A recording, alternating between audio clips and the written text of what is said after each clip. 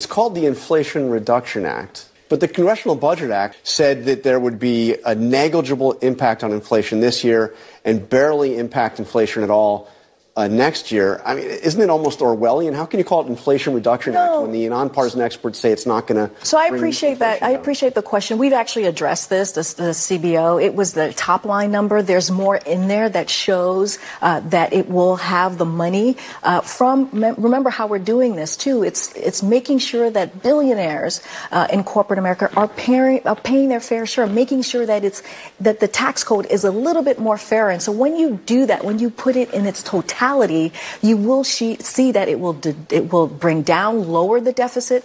We're starting to feel bad for Karine Jean Pierre. She's literally low information, but there, that word salad, that brain breaking, that's just painful. It's the most painful moment we've ever seen on broadcast television, and it's delicious.